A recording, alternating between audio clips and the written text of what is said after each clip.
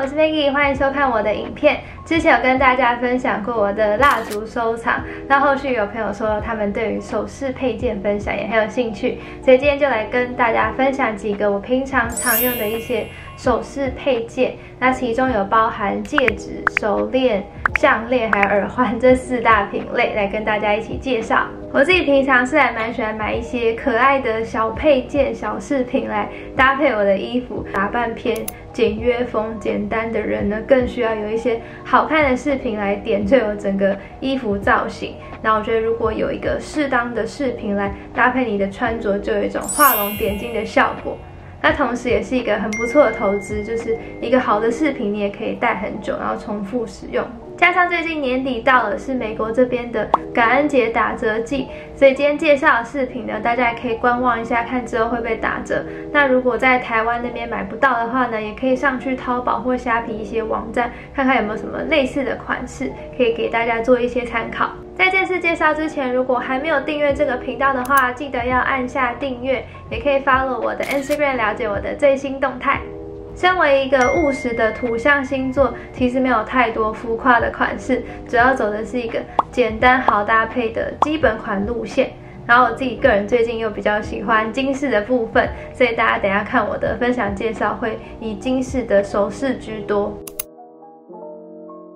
首先跟大家分享一下几款我平常最常戴的几个戒指。那大家可以看到有一些是比较简单基本款的，然后有一些是有一点小浮夸的款式。那先从这两个简单基本款的跟大家介绍。那他们是来自于同一个品牌，就是 m a j o r i。它这应该是一个加拿大的牌子。那我个人应该算是他们牌子的一个狂粉，因为我在他们家的网站买了很多首饰，那我非常的喜欢。那他们的首饰呢，有分就是十四 K 金的，或是镀金系列的。那镀金系列的话就会比较便宜。那它十四 K 金系列有一些也不会到太贵，像这个两个戒指呢，它们是十四 K 金的，所以就是你可以带着它洗澡啊、睡觉啊，应该都不会有什么问题，不会那么容易生锈。所以我还蛮常戴这两个戒指，因为我觉得它们很简单，很好搭配。突然拔不出来。这两个金色戒指呢，虽然没有什么特别的特色，但是我就很喜欢这种简单的设计，然后也很方便去搭配一些你其他的首饰，就不会觉得太突兀。所以还蛮推荐，如果大家买戒指的话呢，可以购入几款这种比较简单的，然后去做一些不同的搭配。另外，我也非常喜欢 Majori 这个牌子的品牌设计。每次他们的社群网站 Instagram post 什么新品啊，或是新的照片，我都觉得哇，好骚！每一个款式我都非常想要买。所以，如果你是跟我一样喜欢这种基本款的金饰啊，或简单的搭配的话，也推荐大家可以上去他们的网站上面看看。接下来要分享就是我手上这个水钻的戒指，那我是在一个美国的牌子叫做 Bubble Bar 的网站上面买的。那他们网站上面的东西都很可爱，他们不止出戒指，也有项链啊、手链啊、发饰等等的，CP 值算是蛮高，价格不会到太贵。那这个戒指呢，我是在去年好像年底的时候买，当时特价，大家可以猜猜看它大概多少钱。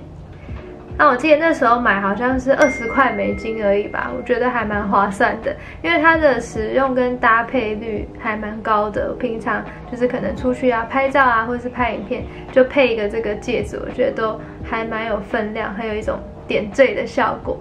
那它这个上面的设计呢，它这个水钻是用那种白色的水钻，然后它的排列是那种有点斜斜的方式，我觉得还算蛮有特色的。那它里面我用了一年多之后。算是没有就是褪色或生锈太多，所以我觉得它整体的质感还蛮不错，也还蛮值得投资一个这样子的比较有分量、有存在感的戒指。那对你的这个造型啊搭配都还蛮加分的。最后要来分享的戒指呢，就是我手上这个。珍珠的戒指，然后它是搭配玫瑰金的，我觉得还蛮美的。那这个戒指呢，我是在淘宝的网站上面买，我当初就随便搜寻珍珠戒指，然后就看到这个不错，我就直接下单。就收到实体了，有惊艳一下，想说哎，质感还蛮不错的，比我想象的好，那 CP 值也蛮高，这些价格应该也是五六百块台币左右。那我用到现在大概一年半多了，没有什么太大的问题，没有坏掉啊，或是褪色等等的。这种珍珠的戒指也算是一个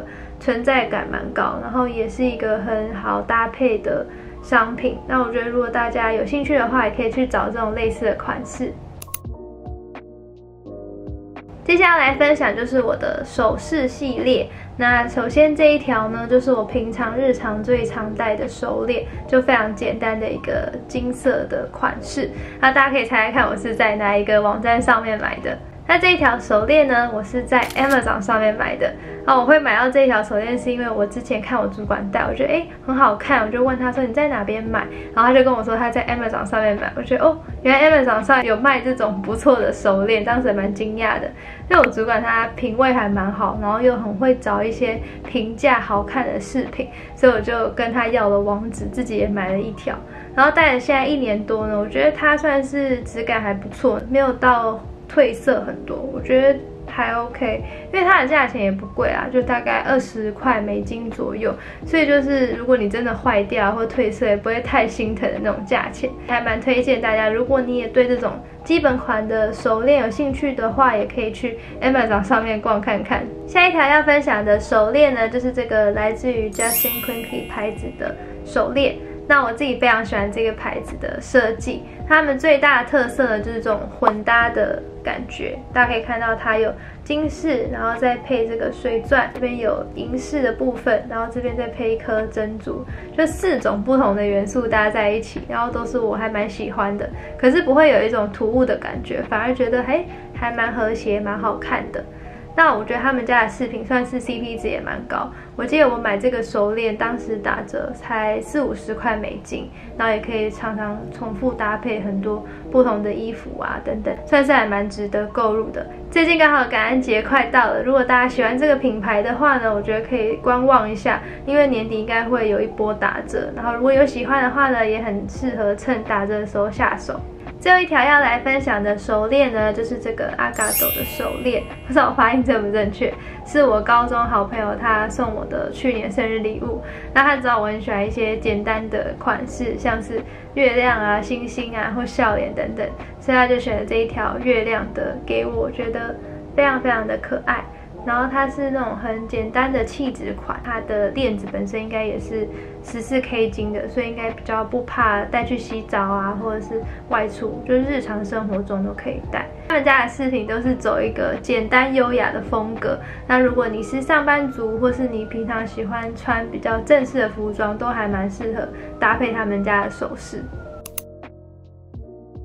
第一个要来分享的项链呢，就是我身上这一条项链，算是出镜率最高也最多人询问的一条项链，大概有被六七个人私讯问过，说这个是在哪一个网站上面买的。那这个项链呢，我是在 Chen Chen 他们的网站上买，那已经买了大概有一年多了吧，所以他们现在官网已经缺货，没有再卖了。那这个 style 我觉得是跟我刚刚前面介绍那个 Justin Quinty 的 style 有点类似，它就是也是那种。金金色的链子啊，混搭就是这个银色，然后再配一颗珍珠，随便你配 T 恤、衬衫或是一个洋装，再配这个项链都很有造型感。那虽然现在官网他们已经缺货，你还是可以去其他的网站，像淘宝或虾皮等等的，可以看看有没有什么类似的款式。接下来分享的两条项链呢，我都是在 m a j o r y 他们网站上面买的。当初我是看到这张照片被烧到，想说哇。搭起来非常的好看，所以我就买了其中的两条项链。那我觉得这两条项链都还蛮值得购入的，因为不论你是单戴啊，或是叠搭都很好看。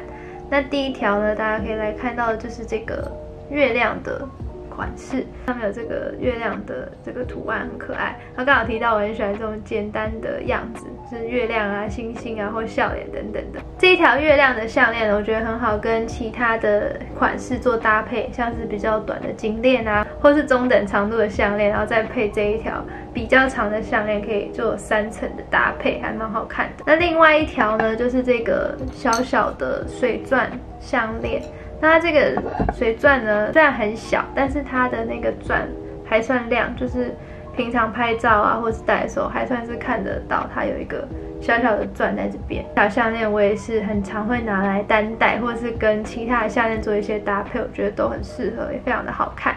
下一条要来介绍的项链呢，就是今年非常流行的款式，就是这种链条 chain 系列的项链。那我这一条项链呢，我是在 Maywell 他们的网站上面买的。那 Maywell 他们平常就是服饰的品牌嘛，他们有些饰品我也蛮喜欢的。那它这个特色呢，就是它做的这个金色不是那种很亮的金色，是比较雾面感觉的。这个链条不会做的太夸张，因为有一些链条可能是比较粗，然后分量感比较重的。它这个是比较可以日常戴，然后比较没有那么显眼的。最后要来分享的两条项链呢，是我今年收到的生日礼物，非常的感恩。那第一条呢，就是我的朋友 K K 他送我的，它是这个十四 K 金的猪鼻项链，我觉得它质感跟做工都真的非常的好。虽然它款式很简单，不过你戴上去的时候呢，就自带光芒，有一种闪光的效果，很难忽视它。这种简单的款式不但可以日常戴，也可以叠搭很多其他的项链，我觉得都非常的好看。这个项链是来自 Hera Jewelry。那如果大家有兴趣要订购这种十四 K 金的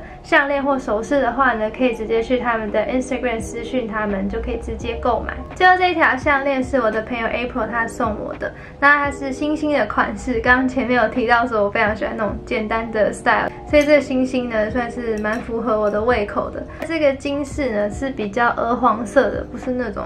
金黄色的感觉，有点不一样。然后我觉得它这个颜色跟 T 恤或白色的衣服搭在一起非常的适合。那它这个牌子的网站上面有很多呃不同的金饰，我觉得都非常的好看，也是走那种简单基本款、经典好搭的路线。所以大家如果喜欢这种金饰啊、简单的款式，也可以上去他们这个牌子的网站逛逛。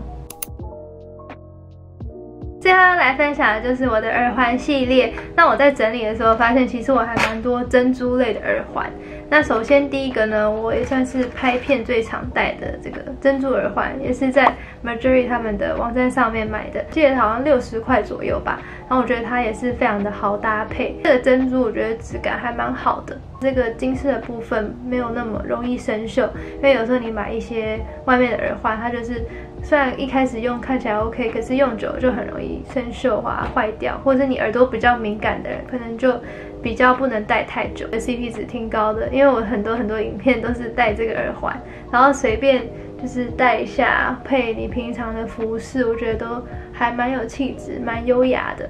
也很想要尝试那种小小的圈圈的耳环，戴在这个耳骨上面，就是不需要打耳洞，你也可以戴的那种耳环。就小小的 hoops，在等 m a j o r y 之后，如果感恩节打折的话，应该考虑买个几款来戴戴看，之后可以再来跟大家分享好不好戴。我自己本身的珍珠耳环呢，很多都是在淘宝的网站上面买的，像是我现在耳朵上面戴的这个耳环啊，或是这几个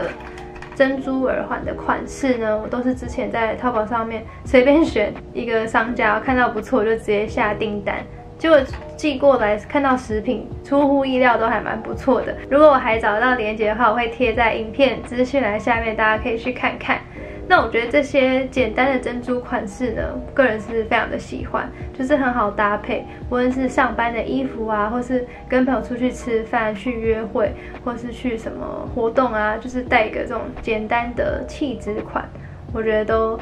非常的实用。搭配你的金饰啊或银饰都不会有那种很突兀的感觉。另外我很喜欢戴的耳环呢，就是这一种几何的款式，就是感觉随便一戴配一个很简单的衣服也很有造型感。然后我选的这种颜色也是那种比较素色、比较温柔颜色的款式。我应该也是在淘宝上面买的，不过我记得可能东区或是夜市也有在卖这种类似的款式，应该还算蛮常见的。也推荐给平常喜欢简约搭配的朋友们呢，也可以买这种偶尔有点小浮夸的款式来点缀一下你的造型。以上就是我今天的首饰分享介绍，希望有烧到一些朋友可以考虑去购买我今天有讲到的一些款式。那如果你有什么其他推荐的首饰必买的话，也可以在影片的留言区底下告诉我哦。那喜欢这影片记得帮我按赞，不要忘记订阅这个频道哦。我们就下个影片见，拜拜。